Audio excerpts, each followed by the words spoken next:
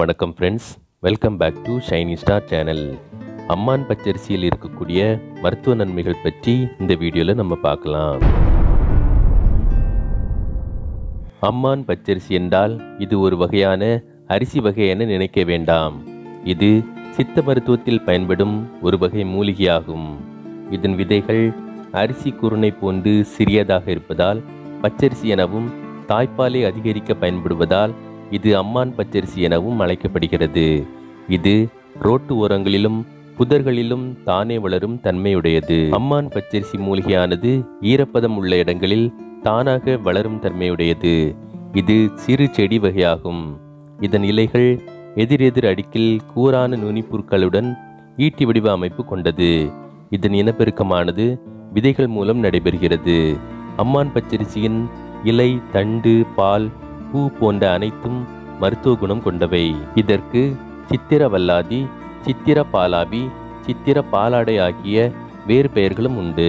அம்மான் பச்சரிசியின் பூக்களின் நிறங்களின் அடிப்படையில் பெரியம்மான் பச்சரிசி சிற்றம்மான் பச்சரிசி சிவப்பம்மான் பச்சரிசி வெள்ளையம்மான் பச்சரிசி வயம்மாள் பச்சரிசி போன்ற பெயர்களில் அழைக்கப்படுகின்றன. அம்மான் பச்சரிசியை ஒரு கோழி குண்டு அளவு எடுத்து நன்றாக அரைத்து பாலில் கலந்து தினமும் ஒருவேளை வைத்து மூன்று நாட்கள் சாப்பிட்டு வந்தால் நீர்க்கடுப்பு நமைச்சல் ஆகியவை குணமாகும். இதன் பாலை நகைச்சுத்தி மேல் பற்று போல போட நகைச்சுத்தி குணமாகும். இதன் இலைகளை அரைத்து படைகளின் மேல் பூசினால் படைகள் குணமாகும். சிவப்பு அம்மான் பச்சரிசி மூலிகைக்கு வாதத்தை போக்கும் குணம் உண்டு இந்த மூலிகை உயிரணுக்கள் எண்ணிக்கையை அதிகரித்து தாது விருத்தி ஏற்பட வழிவகுக்கிறது. இதை வெள்ளி பஸ்பம் என்று கூறுவார்கள். அம்மான் பச்சரிசியின் இலைகளை நிழலில் உலர்த்தி இடித்து சூரணம் செய்து ஐந்து முதல் ஏழு கிராம் அளவு மோரில் கலந்து கொடுத்தால் குழந்தைகளுக்கு ஏற்படும் மலச்சிக்கலை போக்கும். மேலும் குழந்தைகளின் வயிறு சம்பந்தமான பிரச்சனைகளையும் தீர்த்து வயிற்று பூச்சிகளையும் கொல்லும். அம்மான் பச்சரிசி இலையை அரைத்து சிறிதளவு பால் அல்லது மோரில் கலக்கி பெரியவர்களுக்கு கொடுத்தால் வெயிலினால் ஏற்படும் பாதிப்புகள் மருந்துகள் சாப்பிடுவதனால் ஏற்படும் உஷ்ணம் ஆகியவை போகும். இந்த மூலிகையின் இலைகளை சமைத்து சாப்பிட்டால் உடல் வறட்சி நீங்கும். பனியினால் ஏற்படும் வாய் நாக்கு உதடு வெடிப்பு குணமாகும். இதை தூதுவளை இலையுடன் துவையல் செய்து சாப்பிட்டு வந்தால் உடல் பலமாகும். இதன் பாலை முகத்தில் தடவி வந்தால் முகப்பரு மற்றும் பால் பருக்கள் மறையும்.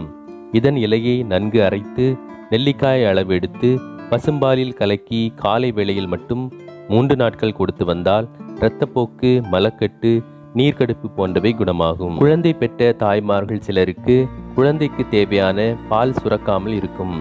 இவர்கள் தாய்ப்பால் அதிகம் சுரக்க அம்மான் பச்சரிசி பூக்களை பசும்பால் விட்டு அரைத்து பசும்பாலிலேயே கலந்து காலை வேளைகளில் பருகி வந்தால் பால் சுரப்பு அதிகரிக்கும். பெண்களுக்கு ஏற்படும் வெள்ளைப்படுதல் பிரச்சனை நீங்க அம்மான் பச்சரிசியின் இலையை அரைத்து மோரில் கலந்து காலை வேளையில் வெறும் வயிற்றில் மூன்று முதல் ஐந்து நாட்கள் குடித்து வந்தால் வெள்ளைப்படுதல் நோய் குணமாகும். ஃப்ரெண்ட்ஸ் இந்த வீடியோ உங்களுக்கு பிடிச்சிருக்குன்னா லைக் பண்ணுங்கள் கமெண்ட்ஸ் பண்ணுங்கள் உங்கள் ஃப்ரெண்ட்ஸ் எல்லாருக்கும் ஷேர் பண்ணுங்கள் இது மாதிரி பயனுள்ள தகவல்கள் கண்டினியூஸாக உங்களுக்கு கிடைக்கணும்னா நம்ம ஷைனிங் ஸ்டார் சேனலை சப்ஸ்கிரைப் பண்ணுங்கள் பக்கத்தில் இருக்கக்கூடிய பெல்லைக்கான ப்ரெஸ் பண்ண மறக்காதீங்க. இது மாதிரி இன்னொரு பயனுள்ள தகவலுடன் அடுத்த பகுதியில் சந்திக்கலாம். நன்றி வணக்கம்.